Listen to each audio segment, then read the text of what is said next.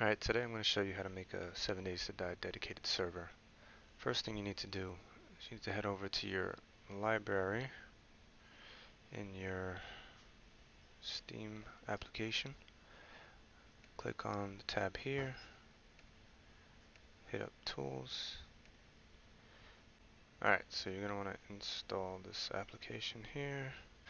Alright, once the install is finished, you're going to head over to the dedicated server, right click, hit properties.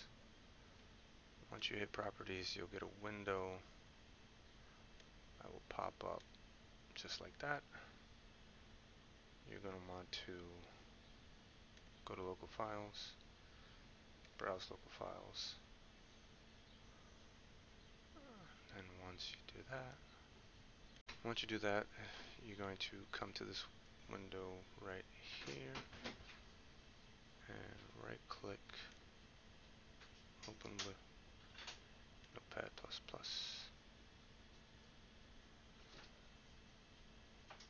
Once you open it up you'll see this page here in notepad++.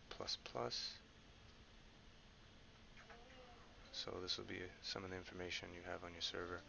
Um, your name, that, that's what's going to populate on the server browser list um, description, things like that. You can set a password here. Also set up a few other settings on here. If you want to just have a dedicated server of a Navezgane map, then you could just leave it as is and run the .bat file. If you want to configure a random gen, you just type remove this here and type in RWG and make your configurations here as you see. Um, if you have a server that you're already using, um, a local server, then you can input that name here and it will pick up that server and create it as a dedicated server. Just make sure you have all the information matching your server information. Um, so you're just going to go down the list here and make sure you have everything set the way you want it.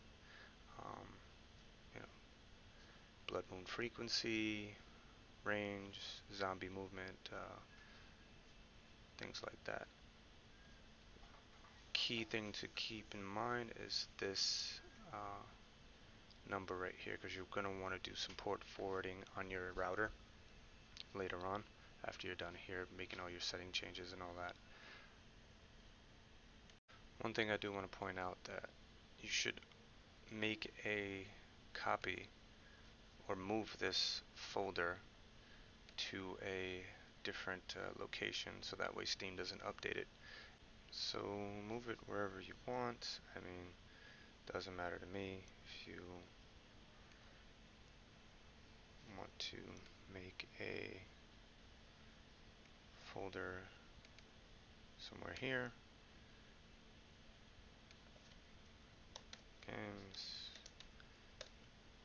Just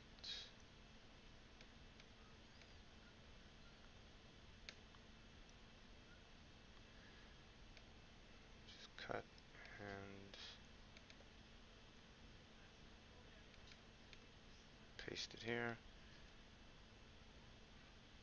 That'll save you some headache later on so that way your stuff doesn't get uh, overwritten by Steam. Once you're done save once you're done saving your files over um, I would create a shortcut for this on your desktop. This is the start dedicated.bat. Alright, once you're done setting up your dedicated server, you're going to want to go to your router and access your firewall. Go to your port forwarding uh, tab, find your IP for your local computer where you're going to be hosting the dedicated server. To do that, uh, type in cmd, uh, ipconfig, and then locate your PC. Um, I have mine here, close it down, and then you select custom ports. And this is for specifically for Verizon router. Um, it should basically be, be, the same for others, but I'm not 100% sure on that. And then you just type in the information from the dedicated server that we made a note of. Hit add. I'm not going to do that because I already have it set here. And that's basically it. Start up the application that you put on your desktop, the dedicated server.bat file. Um, it will generate the world however you created it, whether from a local file or fresh. So here, for this one, I didn't touch the dedicated server file, I just kept it as is. And I'm generating a Navezgane world.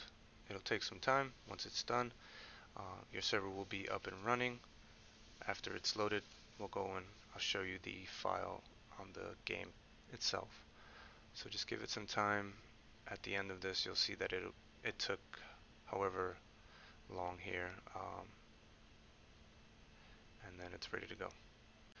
Alright, as you can see, we're on the startup page for the game. Join the game, and you'll see here my game host. I didn't put any information. Um, it's just the game itself. So I'm going to try to connect.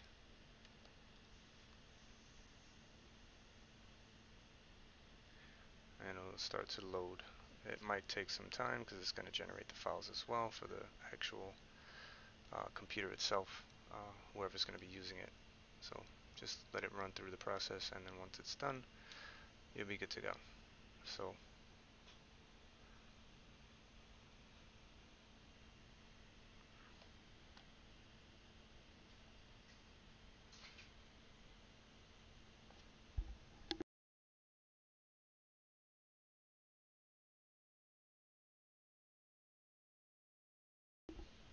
Alright, so it started up and we're here. Okay. This is the game we're currently running on a dedicated server, Navezgane.